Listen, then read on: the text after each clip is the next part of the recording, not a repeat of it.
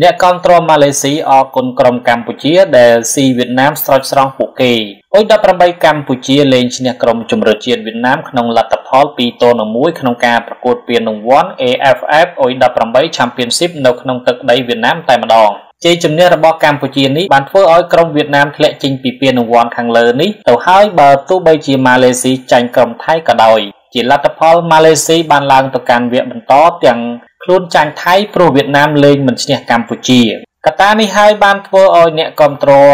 ម៉ាឡេស៊ីមួយចំនួនធំបានចូលរួមអរគុណដល់អុយ18កម្ពុជាដែលជាអ្នកជួយពួកគេឡើងទៅកាន់វគ្គ4ក្រុមចុងក្រោយអ្វីដែលគួរឲ្យចម្លែកទៅទៀតនោះគឺថាអ្នកគ្រប់គ្រងវៀតណាមក៏បានសរសើរចំពោះទម្រង់លេងរបស់កម្ពុជាផងដែរដែលបានធ្វើយ៉ាងល្អយកឈ្នះក្រុមខ្លាំងវៀតណាមនិងថៃក្នុងពានរង្វាន់លំដាប់អន្តរជាតិមួយនេះបាទសូមអរគុណប្រិយមិត្តទាំងអស់